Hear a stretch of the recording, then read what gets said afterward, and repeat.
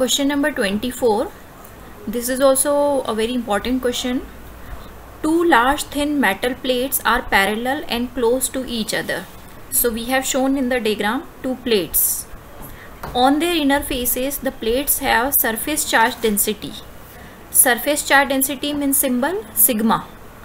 So that value is given 17 into 10 to power minus 22 these are of opposite signs. So positively charged plate and negatively charged plate plate number 1 and 2 have been shown.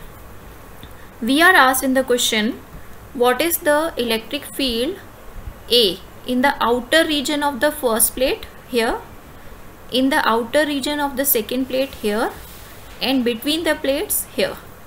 So we are given A, B and C three regions. Sigma is given. Now uh, first of all due to the single sheet the electric field is sigma upon 2 epsilon 0 we will be taking the help of this formula here. What is the idea? Because two sheets are given so we have to first find the electric fields E1 and E2 due, individually due to these two sheets in every region. So let us take A region. Electric field direction we can find by placing by assuming a plus charge. If we place a plus here this plus due to first sheet will be repelled. So electric field E1 then again keep this plus. This plus due to second sheet will be attracted. So E2 direction here. Since E1 and E2 are in opposite direction so they will be subtracted. So final E or net field is sigma upon 2 epsilon 0 minus sigma upon 2 epsilon 0 answer is 0 in the same manner for the B region also the answer will come 0 because opposite fields will be obtained.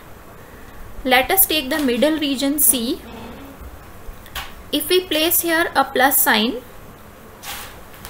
due to first sheet plus will be repelled so E1 direction. Then again keep a plus this plus due to second sheet will be attracted. So E2 direction obtained. Now E1 and E2 you can notice they are in the same direction so they will be added.